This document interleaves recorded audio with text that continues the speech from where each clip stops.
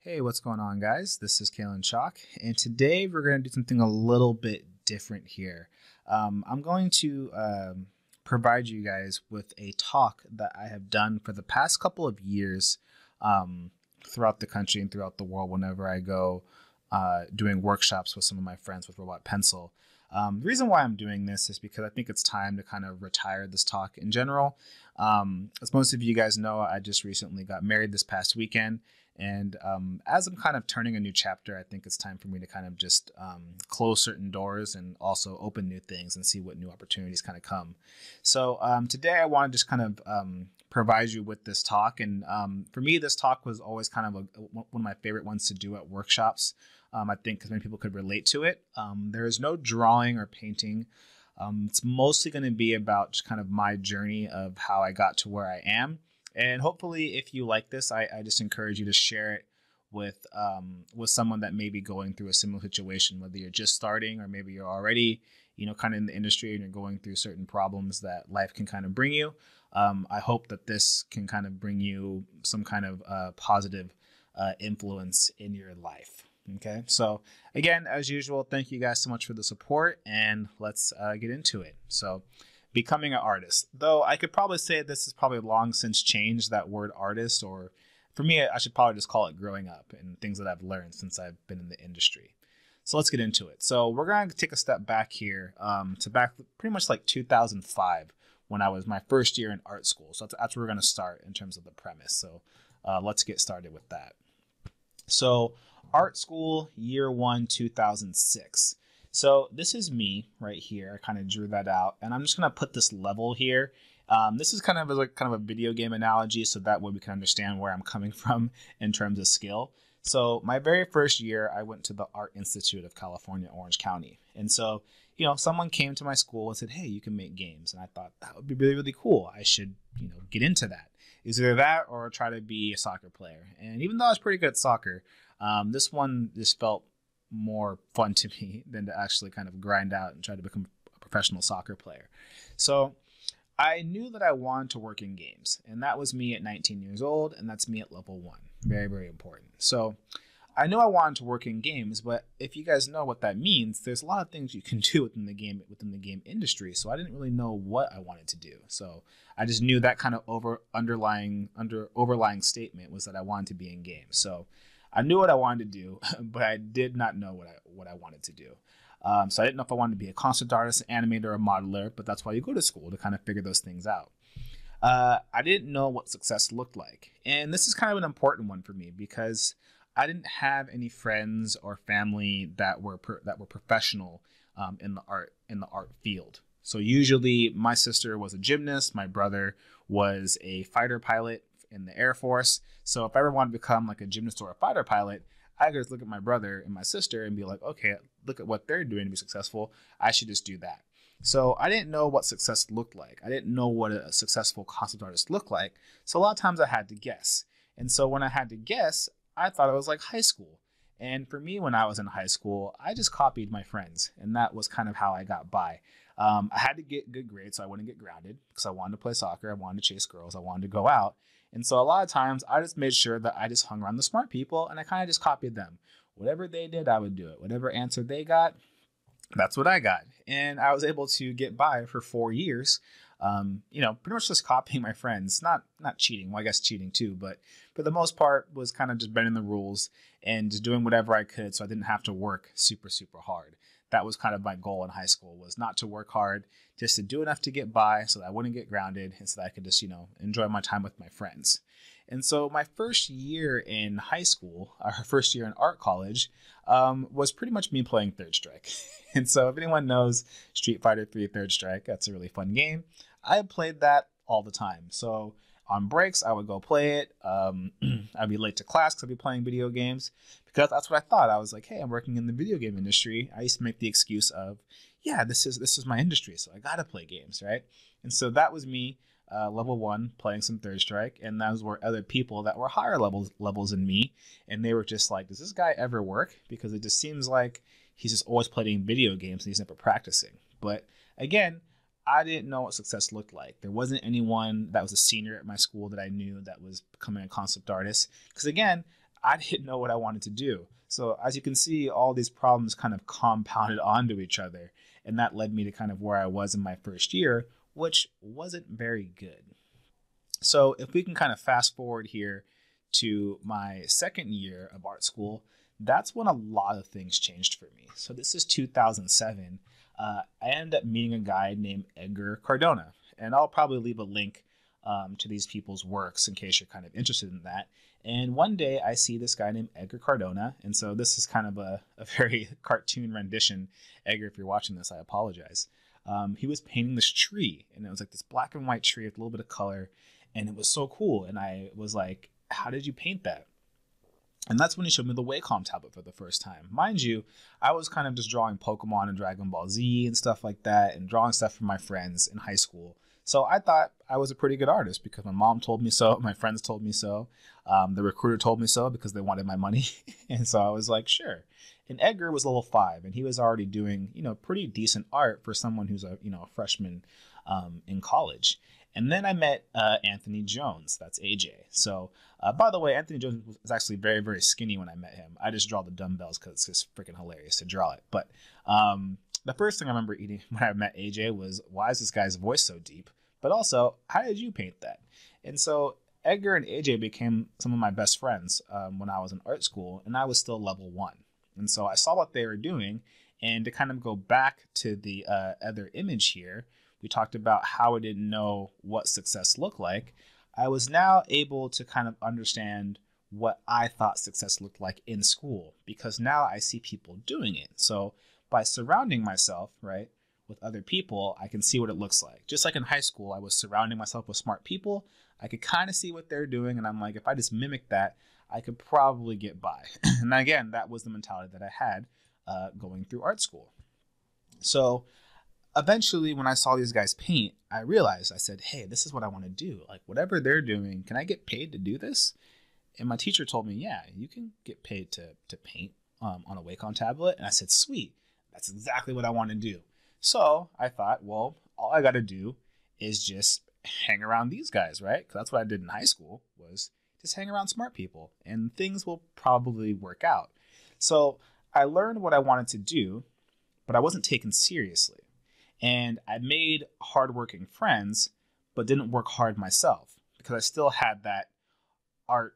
I still had that high school mentality. So if I had to look at all of my friends, like an RPG, here's some people saying he's an art groupie.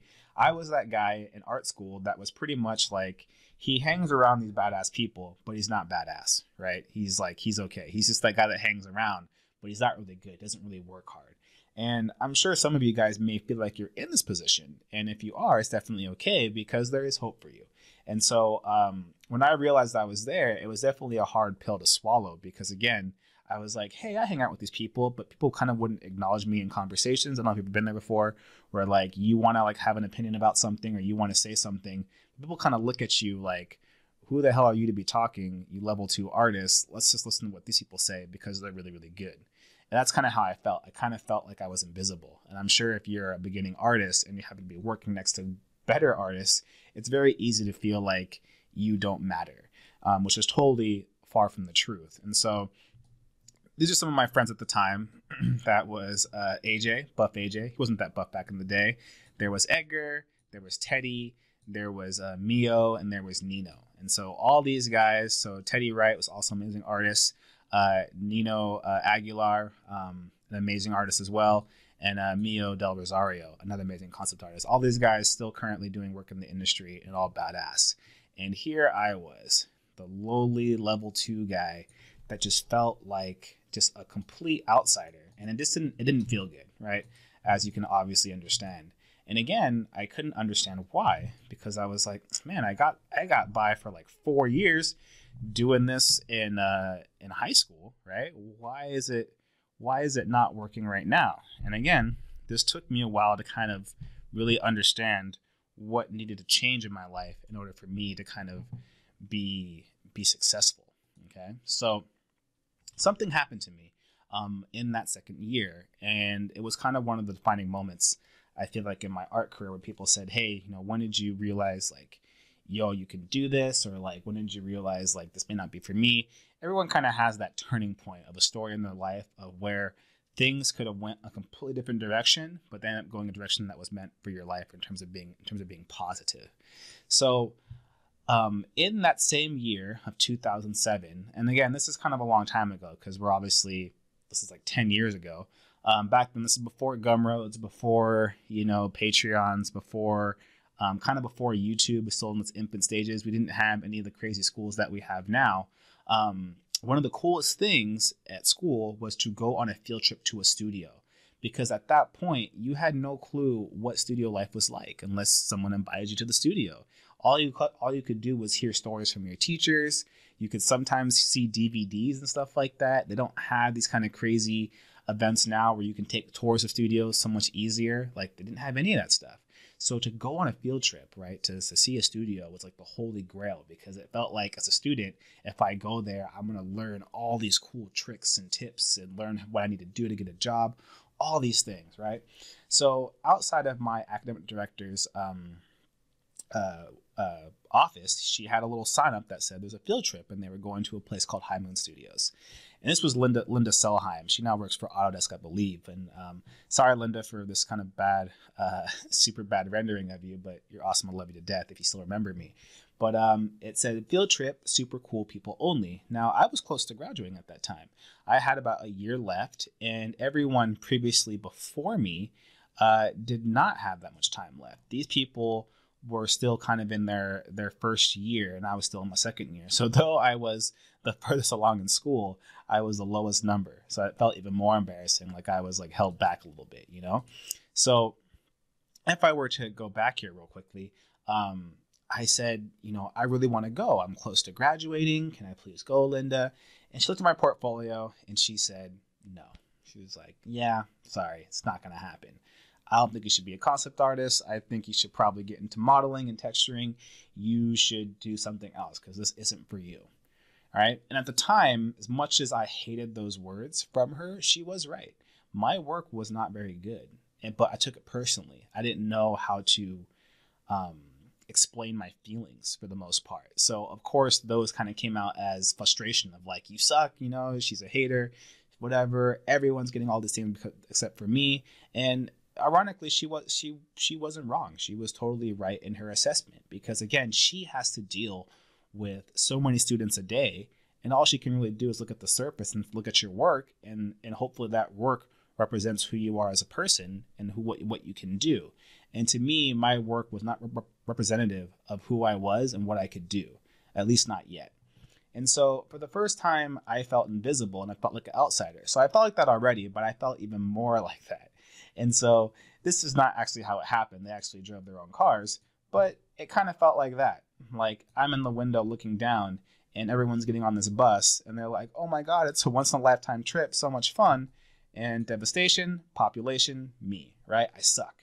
And so it was one of the hardest things I had to deal with was watching all of my friends essentially go on a field trip without me, right? And they're gonna go get better because they're gonna get experience, they're gonna get all these things and I'm still stuck at level two, right? And I'm like, why don't you help me? Because I suck, right? Like I'm level two, I should get some help. And it felt like because I wasn't good, teachers didn't want to invest in me because it was like, what's the point? Because he's not he's he's definitely not there. So there's no point in giving these opportunities if he's, you know, level three. And so um, I was really sad. I was I felt really I was at school the entire day. They left early in the morning. Um, they came back later that night because it was about an hour drive away. But I was like, man, like I suck. Like no one sees me. Like it just felt like I felt invisible for the first time I've ever felt in my entire life. And this is for someone that kind of came from high school being kind of a jock, um, being not necessarily being the center of attention, but you know, playing sports and and being in the limelight and being around people, you know, like being somewhat popular for the most part. Um, from being that to being like all those things don't matter. All that matters is how you draw and and using that as a way to measure my self worth, um, I wasn't worth that much, you know, and that was my mistake that I that I learned that we're going to talk about later. And so what made it even worse was when they came back. Um, this is AJ and Edgar. Everyone's surrounded them, right? Everyone was like, "Yo, what the? Oh, Edgar and AJ are back, and Nino are back." and they're like, "Tell us about it. Tell us about the super cool field trip. Your beard is epic. You guys are so good. Have my baby. Did he like your stuff? You're so cool. What's it like?" All these people were surrounding them, and I could see that they that they kind of liked the attention a little bit. Meanwhile, I was over there in the corner of the room, and I kind of was I, I just felt I felt ignored, and I just felt like I wasn't there. And so imagine you feel like shit the entire day. Your friends, and, and by the way, these are my friends, and so I want to I want to feel happy for them. But at the same time, I'm like, man, I suck. I'm I'm just not worth anything because I'm in the corner of this room. Everyone walks in this. These two walk in the room. Everyone's surrounding them, asking them questions, and I just feel like I'm not worth anything. And so that that feeling of like self doubt and not feeling like I wasn't worth anything led to a lot of things. Led to fear, led to anger, and for the first time, while I was sitting there with my kind of head on the table, I just felt like maybe this wasn't for me. I thought that maybe I should pick an easier job. What if I don't make it? Um, maybe I should do something else. You can't do it. No one likes me. And and those doubt led to anger. It led to hate. That I thought, you know, I hate my teachers, right? Because it's my teacher's fault that I couldn't go. If she would have let me go, then I would have got those opportunities and I could have been good. You know, I hate the school, right? It's the school's fault because the school should have more opportunities for me. They should have more classes for me. That's the reason I'm not good, right? And I said, no one cares, right? No one cares because if they cared, they they would they would help me, right? And I said it's not fair, right? It's not fair that I don't get these things that other people are getting, and I deserve those things, right? And then it went from fear to hate to blaming, right? That I felt invisible and they get all the attention. And when I went home that night, the pretty much the, the biggest thing that I ever thought was maybe I should just quit. And I really thought about that statement when I got home, and it really kind of stuck with me. I thought maybe this isn't for me. Maybe I I shouldn't be here. Like, what am I doing? You know, like I'm clearly not ready. I've wasted so much time. Like, what am I doing? And so I I thought about it for a long time and I really thought that I won't be a real artist until people notice you. That's what I measured my self-worth as, right? I thought that if I'm not level 9 and people don't recognize me and come in the room and, you know, shake my hand, that I'm not worth shit. That's that's what I literally thought as a student. Again, I didn't know what success looked like. I didn't know what the road to being an artist was. There were so many things I was dealing with emotionally. I just freaking had no clue. And so I was prepared that that day to kind of walk in to my um, student advisor and tell her, you know, I don't, I don't think this is for me. Maybe I should, maybe I should choose a different major, but maybe I should just go back to junior college. But like, I don't know what I want to do and feeling like you don't belong or feeling invisible, like you don't have a purpose in this world, is probably one of the worst feelings in the world. And I'm sure people, I'm sure some of you guys, as you're listening to this, you may have have dealt with that at some point in time where you feel like everyone just has their shit together, right? Everyone's getting internships, everyone's getting job opportunities, everyone's doing all these cool things, and you're just like, what am I doing? Like, I don't have any of those things.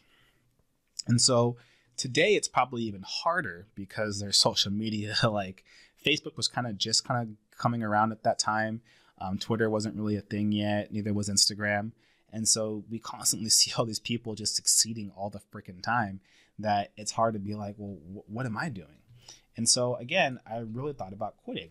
And that's when um, I woke up the next day and kind of had a clear mind. I thought, wait a minute, I'm not sure what made me kind of like have this moment of clarity, to be honest. There wasn't really anything in particular that happened. I was talking to my girlfriend at the time, and she was kind of encouraging as usual, but most times than not, your friends, family, spouses are kind of with that blind encouragement where they're like, you can do anything you want, but they don't really know. And so I woke up the next day, and as silly as that sounds, I thought, you know, like, who cares? Like, who cares what the what people think of me. And so from the years of um, from the year of my art school year two to year three, I realized that like you know what I don't care what people think of me, and if I want to get better, it's going to be on me and me alone. So that way, like if I screw up, it's my fault. And so I realized I was blaming people, and I realized that that wasn't who my mother raised me to be, because my mother and my father were really hardworking people, and they taught me a lot of things that what you get out of this world is what you make of it. Um, and if you don't get it, you have no one to blame but yourself. And that was kind of the, the, the mentality that I had, but I kind of lost that hardworking mentality as I went through art school. And so I said, you know what?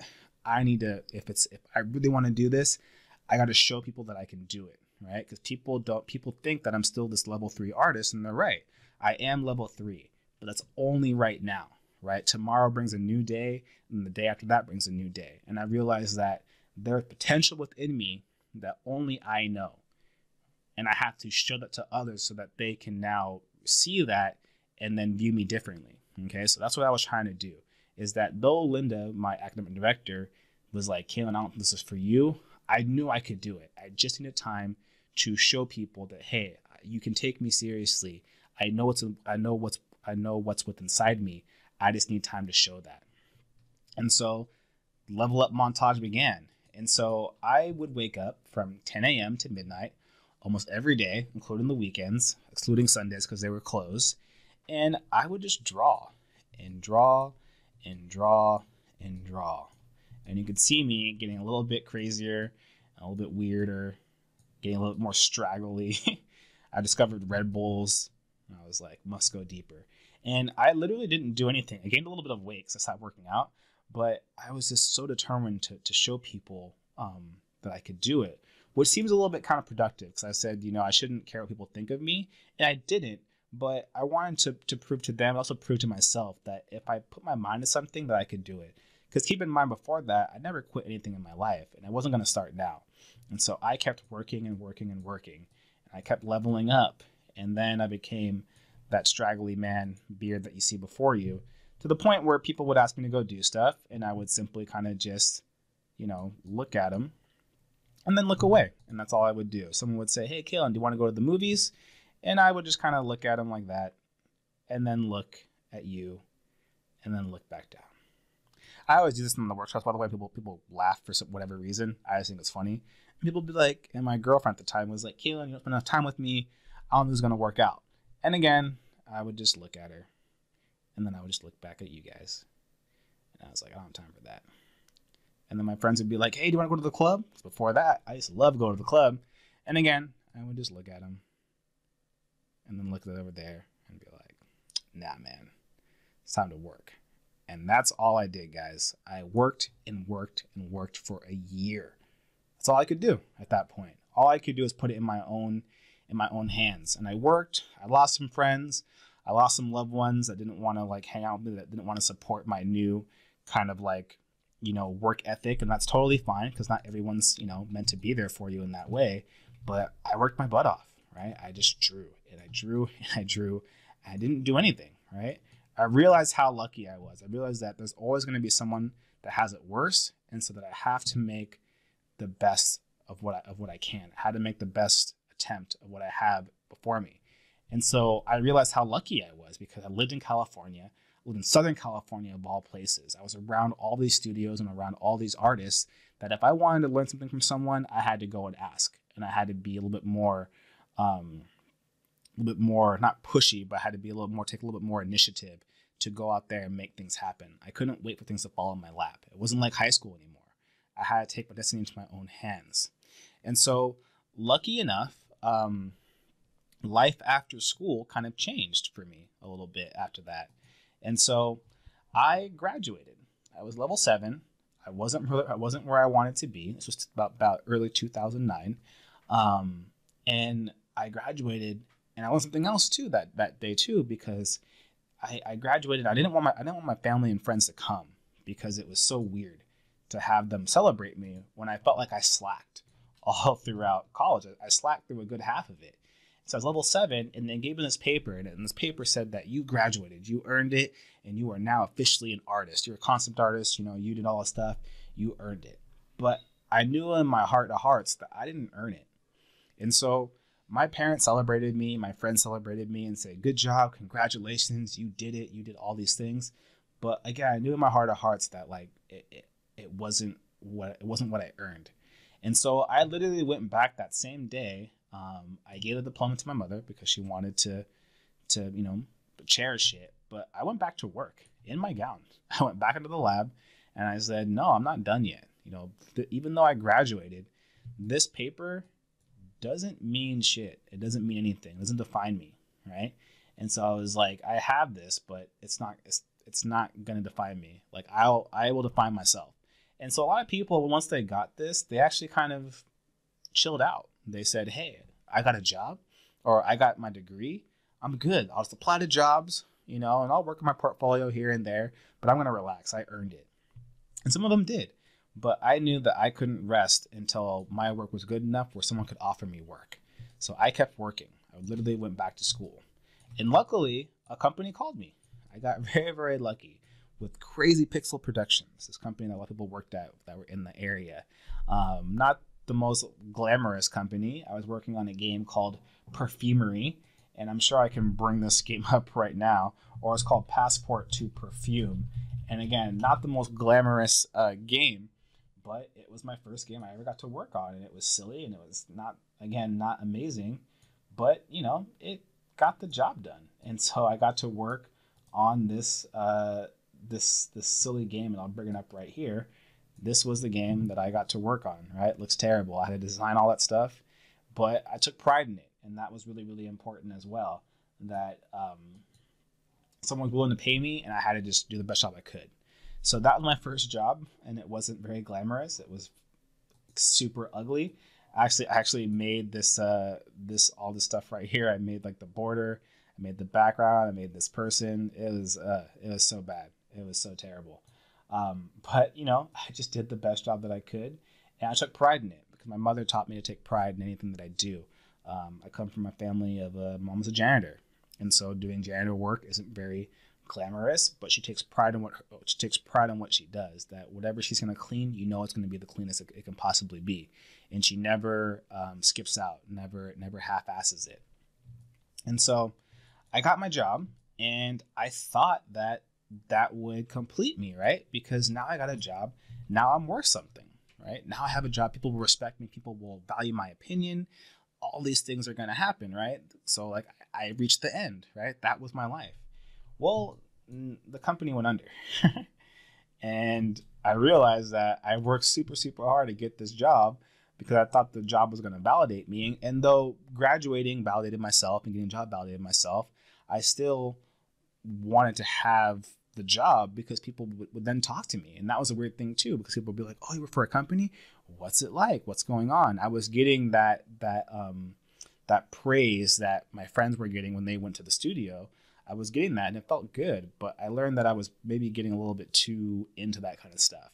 And so uh, it was probably good the company went under.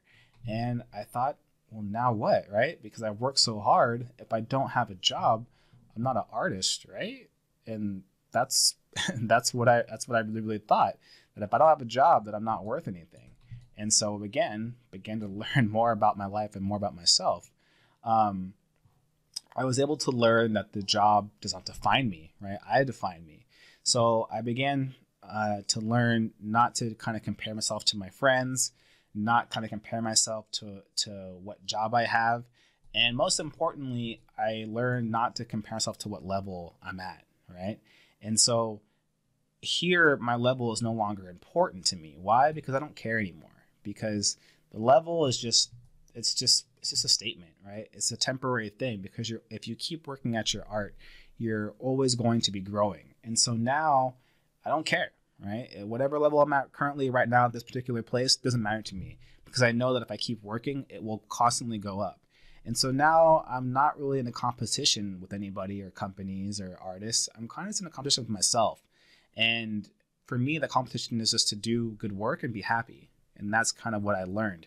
And so, um, you know, as I'm going kind of going through this this art journey, um, I realized how much I just let other people define what I should be thinking about myself, and I learned to just be more self confidence in myself. And so I hope that that helps you guys. Um, you know, uh, when you guys are kind of going through your art journey, if you're if you're having if you're having that problem. And so I hope that this talk kind of kind of helps you out and let you know that you know if you're not where you want to be it's always temporary you know if you put in the work no matter how little time you have, you can do it. You really can. I really believe that. Because if you've ever seen my my beginning paintings to what I do now, you'll so you'll know that literally anything is impossible.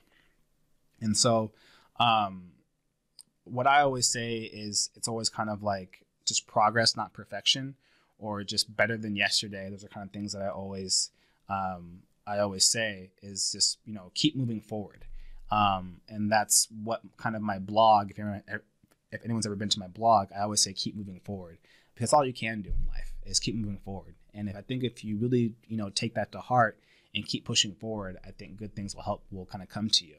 And so that's why I always say keep moving forward. And so that is the uh, kind of end of my talk. And I always say, you know, you can do it um, if you really put your mind to it. No one can know what's inside of you, and um, and that's okay. And people are going to judge you, and people are going to tell things to you because they want to look out for you, and they want to make sure that you don't, you know, go through things that they went through, hardships, and that's totally okay. But only you can know what's inside of you. And if you look inside of yourself and you see that there's something inside of you that can do this, whether it's be an artist, animator, doctor, whatever, then don't let anyone stop you. Okay. And so, with that, I want to end with some advice. And so, this advice is just not anything set in stone, it's not like a Bible.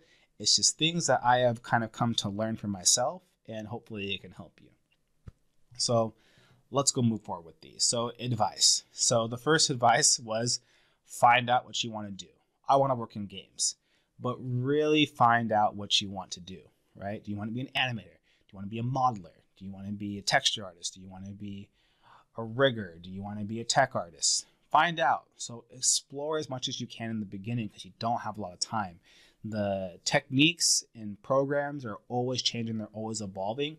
So find out what you want to do right away and just stick with that. All right think of it kind of like a like a character in, in a fighting game or RPG. You kind of have like your main skill, and then you're gonna have a bunch of kind of side skills. But get that main skill down first. I think if you do that, you'll be in a good spot.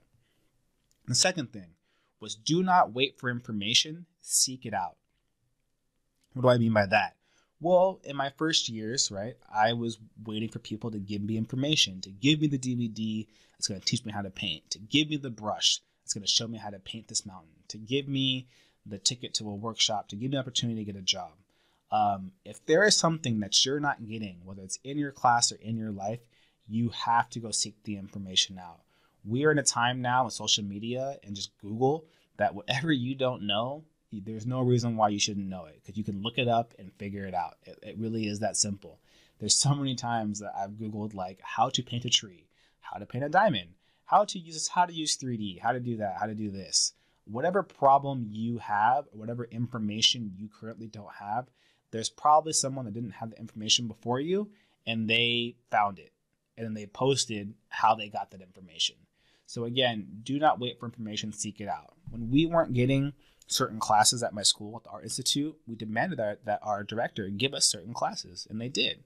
And so um, you cannot complain without trying to make it better. And that's and that's kind of my personal opinion is that a lot of artists would complain at school. They would say, This school sucks. This school doesn't give me what I want. It doesn't do this, it doesn't do that. And I would go, Okay, well, what are you to do to make it better? Are you going to ask? Are you going to go look up some teachers? Are you going to go figure out what you guys need? They, they would say, No, I'm just going to keep complaining. And so we tried to make it better. We tried to figure out how to get what we needed. And if they didn't give it to us after that, then we raised hell, right? But you always have a choice, whether it's in school or in life if you don't want if you're not getting what you want from a school or a class, then just don't go anymore. You can leave. No one's forcing you guys to, to, to go to school. Um, I would hope. I would hope most parents are not forcing you to be an artist. Almost positive, because they probably want you to be a doctor or a lawyer instead. So I'm pretty sure none of you guys are at art school because your parents made you and you hate drawing, right? If they did that, it's super cruel. That's really weird to me. So again, if you're not getting information, you have to seek it out. You have to demand it. And if you're not getting what you need, then that means you have to move on, right? That's kind of like the basic loop of action that you should take. Ask for information, try to fix the problem. If you can't fix it and you see there's no foreseeable way for you to grow as an artist or as a person, you have to leave. Same goes same goes for companies. When you're at a company, um, You demand certain things, you want certain things, and if you're not feeling like you can grow at that company, you have to leave, and you have to go. You have to go make your life better, but you can't stick there. You can't stay there and keep complaining because nothing will ever change. So number three, do not wait for the community. Create yours. Um, that's that's a really big one. You know, we didn't have a concept art community um, up until like 2005. There was kind of one, but not really in Orange County. But me and AJ created a sketch group, and every Wednesday we would go.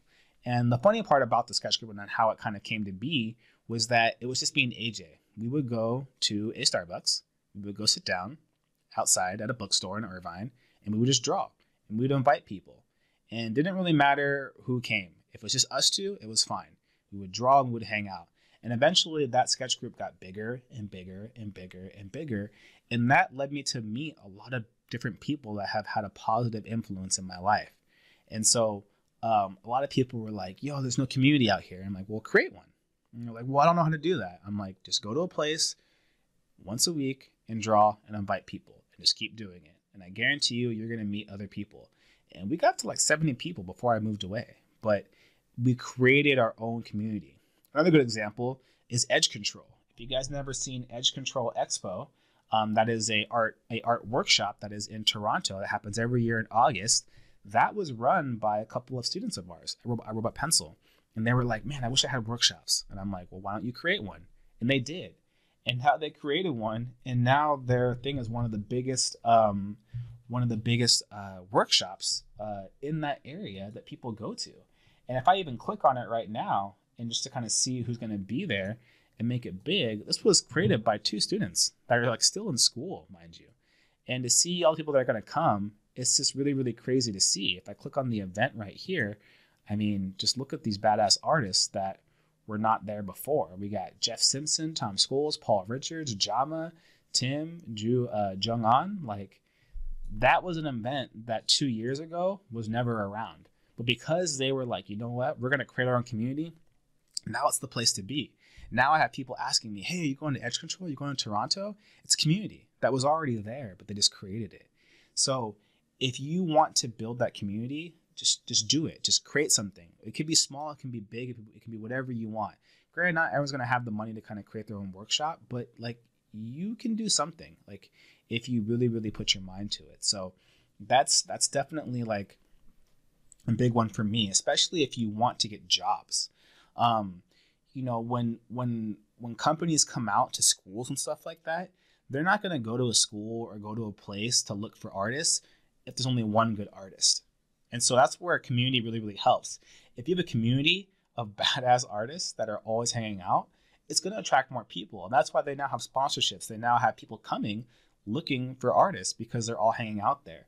So the more that you try to share your information and the more you try to uplift your community, um, the more attention it gets, the more you can attract other companies, other sponsors, all kinds of things that will help you guys grow and and, and help you, you know, you know, climb the ladder of whatever your career might be. And so that's really, really important is, is community. I really, really believe that. And the number number four is stay stubborn but be respectful. Now, what do I mean by that? Well, to me, again, a lot of people told me in school that I should not be a concept artist. They said, Kalen, I don't think this is for you. I think you should do something else. I think you should be a, an environment artist or a texture artist, which to me is actually kind of offensive to texture artists because everyone always tell me that just be a texture artist is easy. Being a texture artist is actually freaking hard. So I'm not sure why they thought that that would be harder than a concept artist. Maybe because there's more texture art jobs per se or more environment art jobs, but I'm like, dude, they're all equally hard. And so don't let people like tell you to do other things because it's easier. Everything is freaking hard. Whether you're a texture artist, you're an environment artist, you're a character artist, everything is hard. So if you go into a line of work because it's easier, because there might be more opportunities, just because there are more opportunities doesn't mean that these people are going to like be less picky about who they can get. And I'm sorry for spelling respectful wrong. Just imagine that to be a imagine there to be a C in there. Um, but just because there are more opportunities, just because a company may need 10 environment artists and two concept artists, doesn't mean they're going to be be less picky about their environment artists. It doesn't mean the company's going to be like, well, I guess we can hire a shitty one because we have 10 of them, right? No, they're going to want the best of the best. And you still have to compete with a lot of environment artists, even though there's only, even though there's only two constant positions. So everything is hard. So don't let people kind of steer you away to an easier path because you think it's going to be like an easier way to get a job. Everything's hard to get.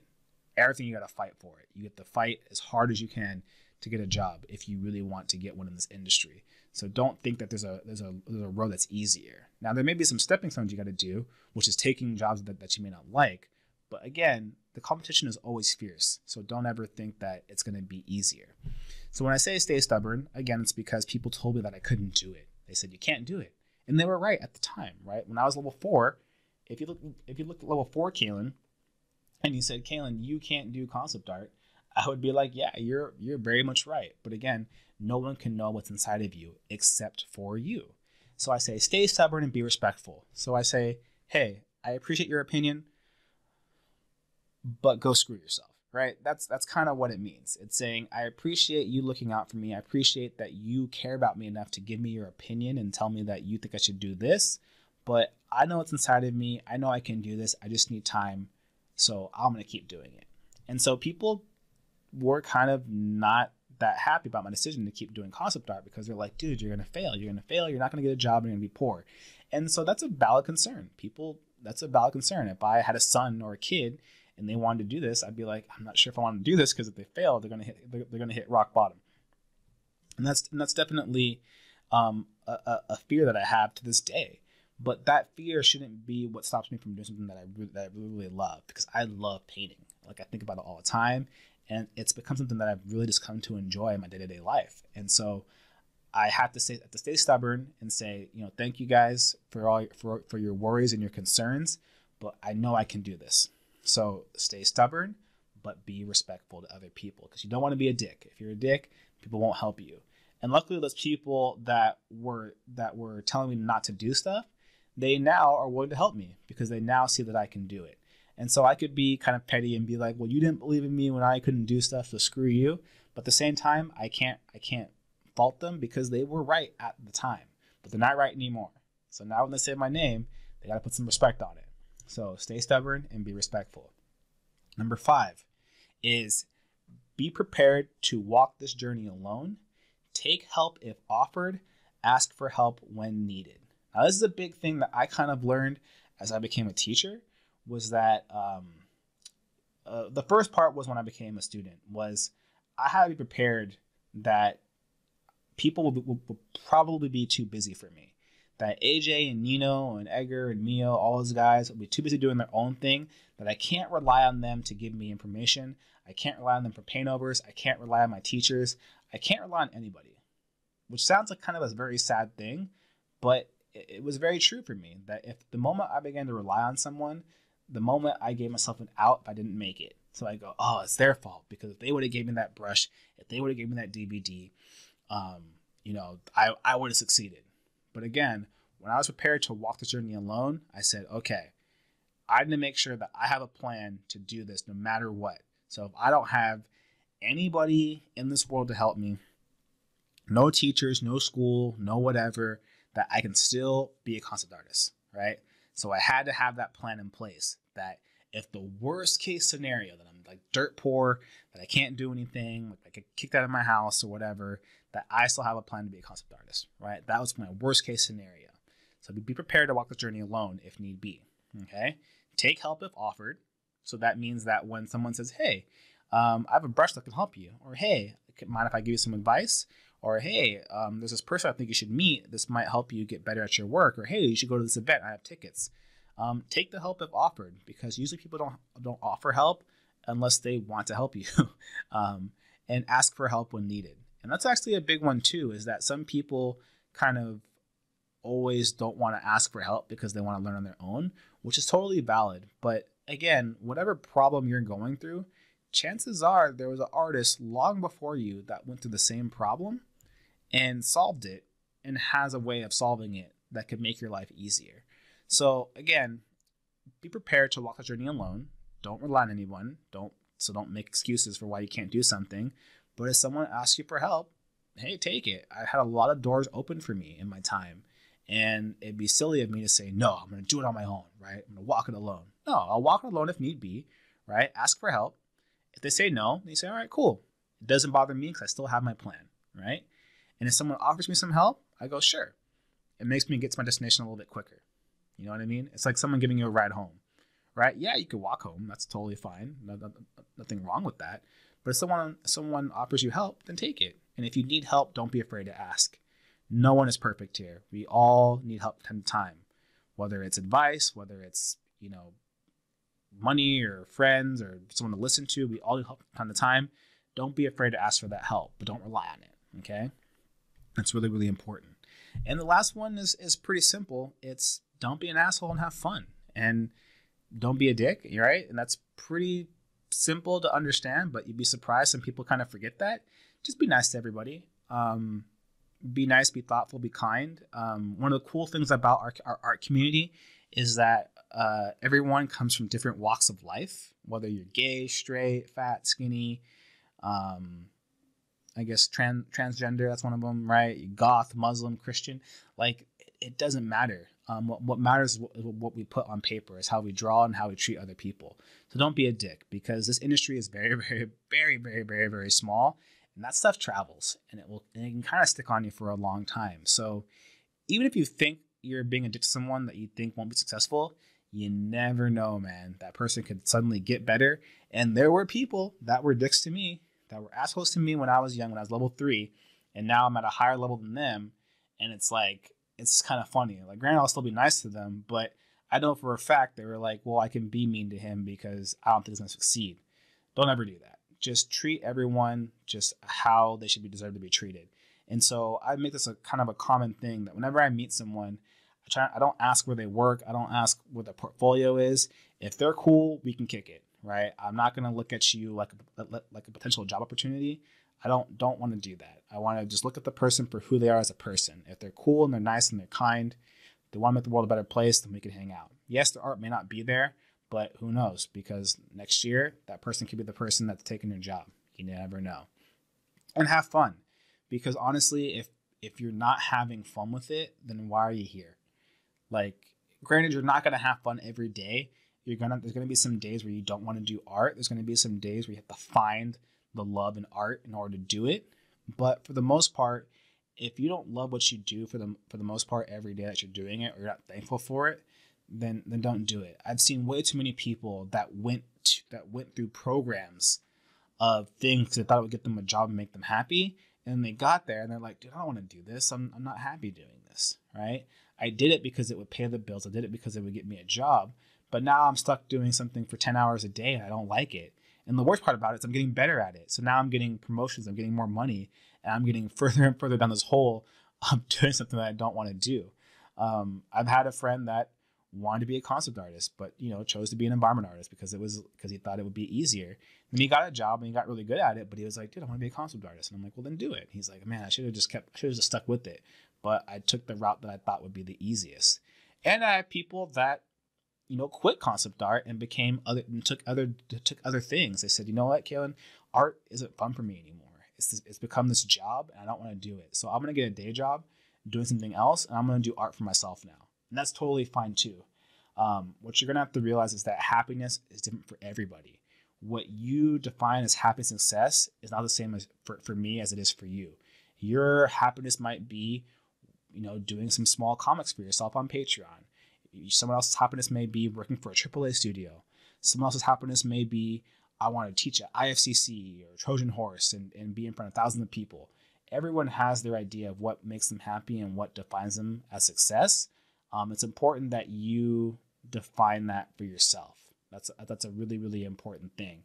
And so, some someone once told me this before was that um, they said I was climbing the ladder to success, only to realize that I put it against the wrong wall.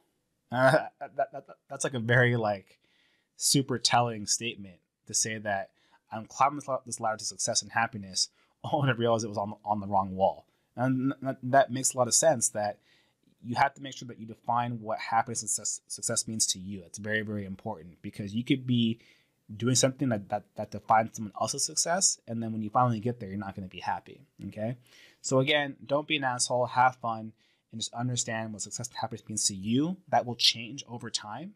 So don't be afraid if that happens. Um, but again, out of all these things, it's just have fun. And so that concludes the end of my talk. Um, again, this one that I've done um, for many years across the board to, to artists that are just starting out. Um, if this has helped you, if this has had a positive um, reinforcement or it just resonates with you, I encourage you to share this. This is a free thing. And um, in the meantime, I'm just looking forward to what um, this this next chapter in my life of being married and doing new things has in store for me. So, thank you guys so much for the the love and support that has been there since friggin' 2005. And um, again, so a, a positive reinforcement that it's going to be hard, but you guys can do it if you really put your mind to it. Until next time, I will see you guys around. My name is Kalen Chock. Take care. And as always, peace